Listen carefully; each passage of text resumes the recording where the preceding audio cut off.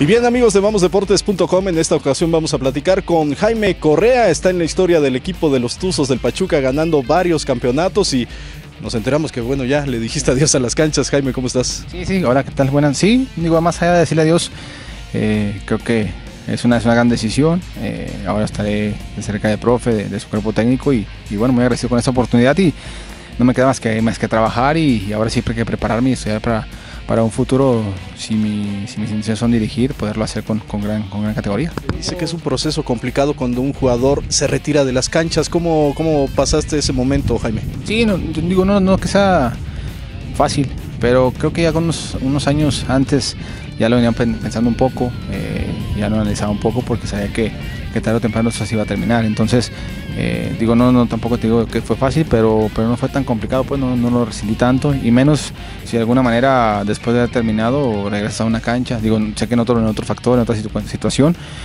pero no hay nada como salir a una cancha, levantarte temprano, venir a desayunar, eh, es lo mismo que, que sea como jugador, simplemente ahora en, en otro tipo de, de, actividad. ¿Cuántos campeonatos ganaste con Pachuca?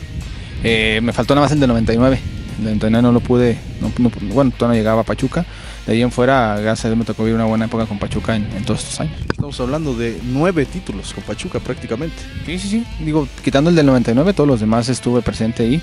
Entonces, este, digo, muy grato para mí regresar, como dicen, a esa casa.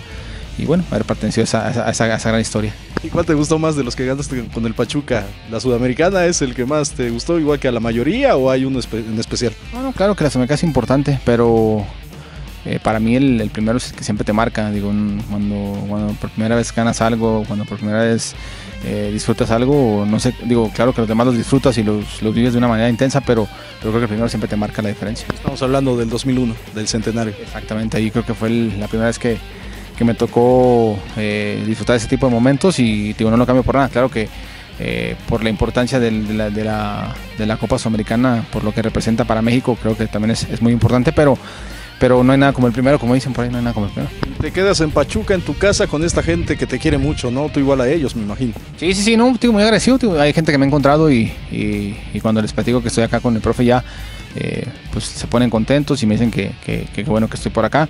Entonces digo, mandarles un saludo a todos ellos y como dices, eh, aquí nos encontramos más seguido. Digo, ahora mejor en, en otro rol, en otra, en otra, etapa, pero, pero sí con las mismas ganas de, de crecer, de hacer grandes cosas aquí en, en Pachuca y ojalá quiera que el día de mañana podamos eh, seguir trabajando por acá. Jaime, más adelante vamos a seguir platicando contigo, ¿eh? que hay mucho de qué platicar con Jaime claro, Correa. Gusten. Cuando gusten, aquí estamos. Muy bien, Jaime Correa, el motor, el motor del equipo de México, el Pachuca, para vamosdeportes.com.